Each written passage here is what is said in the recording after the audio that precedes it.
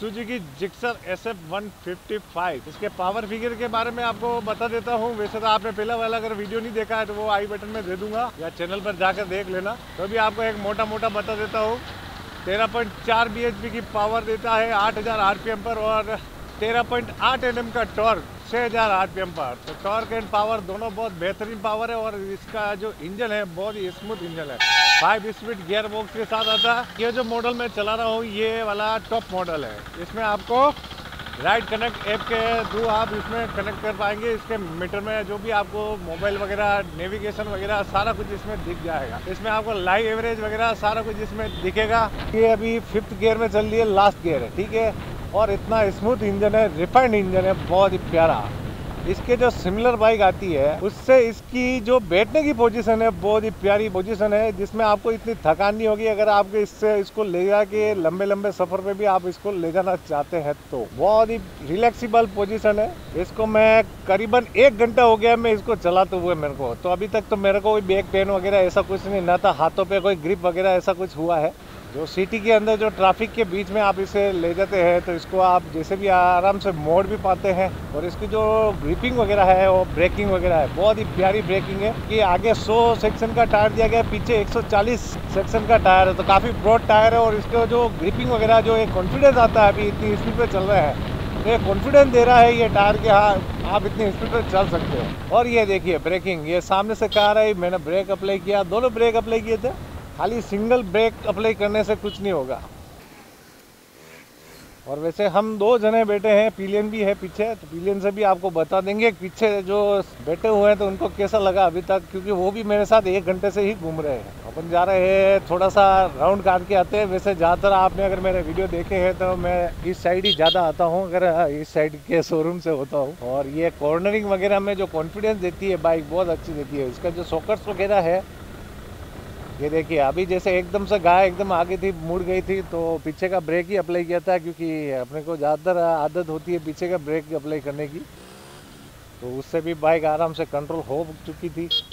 और जो आराम से ये देखो, गलियों गलियों में अपन घूम रहे हैं तो उस हिसाब से इसकी कॉर्नरिंग वगैरह में कोई प्रॉब्लम नहीं आती है। तो क्योंकि मैंने बोला ना आपको, इसके टायर अच्छे खासे ब्रॉड दिया गया है पीछे का और आगे का।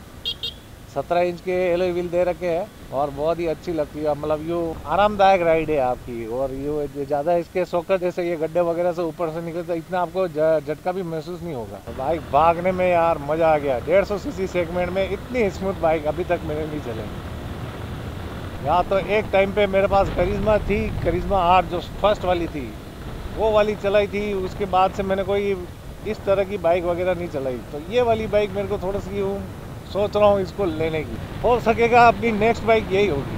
और जो पावर वगैरह, ये देखिए ब्रेकिंग वगैरह मैं बोल रहा था कि इतनी शानदार ब्रेकिंग जहाँ रोकोगे वहाँ रुकेगी बाइक बस उसके लिए आपको थोड़ा सा प्रैक्टिस करनी पड़ेगी। आगे का ब्रेक और पीछे का ब्रेक दोनों का कॉम्बिनेशन बना के करना पड़ेगा। और पीछे के ब्रेक के भी बात कर रहे हैं तो मैं पीछे का ब्रेक लगा के दिखा देते हैं।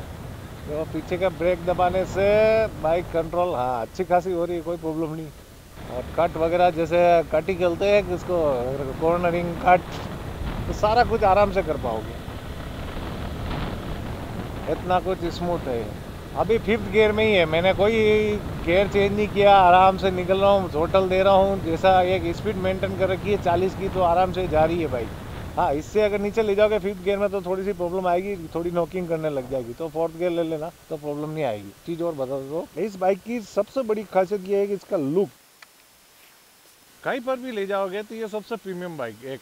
और इस पर सबसे बड़ी बात है कि ये किसी, कहीं पर भी ये मेंशन नहीं है कि ये 155 सीसी की है। ये देखिए, पीछे से कहीं पर भी ये लिखा हुआ नहीं है। खाली यहाँ पर आपको जिक्सर एस लिखा हुआ मिल जाएगा। लगती भी बहुत बड़ी बड़ी सी बाइक है और शानदार लगती है। आगे से लुक कुछ इसका ऐसा है, बहुत ही शानदार लगता है। और जब सामने से थोड़ा लोग कहते हैं इसका थोड़ा सा पतला है, पर देखो यार, जब आप भीड़ भरे इलाकों में जाओगे तो इसको आराम से निकाल पाओगे। ज़्यादा बड़ा होगा तो ज़्यादा बड़ी टेंशन। सामने के गलफड़े इस तरह से दे रखे जैसे इसके ऑयल कूलिंग सिस्टम बना रखा हो, ये देखिए, पूरा। और हॉर्न वहाँ पर दिया गया है अंदर और पूरा अच्छा से कवर कर रखा कोई भी एक ऐसा पार्ट्स वगैरह आप यूँ नहीं दिखा सकते हो इसमें कि कहीं बाहर दिख रहा है। वायरिंग वगैरह को भी इतनी अच्छे से कवर कर रखा है यहाँ पर। फिट एंड फिनिशिंग इस बाइक में बहुत ही अच्छी लगती है।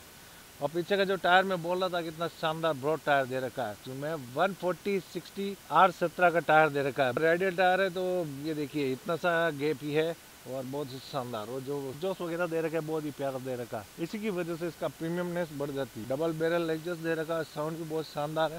साउंड आपको खड़े खड़े में सुना देता हूँ। ये इसका साउंड बहुत ही रिफाइंड साउंड इंजन से कोई अलग से आवाज़ नहीं, सबसे बड़ी बात। इसमें थाउज़ेंड एम का, इसमें आपको ऑयल लगेगा। ये यहाँ पर, ये मेंशन है यहाँ पर। ये छोटी छोटी चीज़ों पे वर्क कर रखा है, बहुत ही अच्छा और टेल लैम्प बहुत ही शानदार दे रखा है। तो चलिए, हो गया। और भी कुछ सवाल हो तो आप इस पर कमेंट कर देना, मैं ज़रूर वीडियो बना दूँगा उसके ऊपर। फ्यूल टैंक 12 लीटर का है।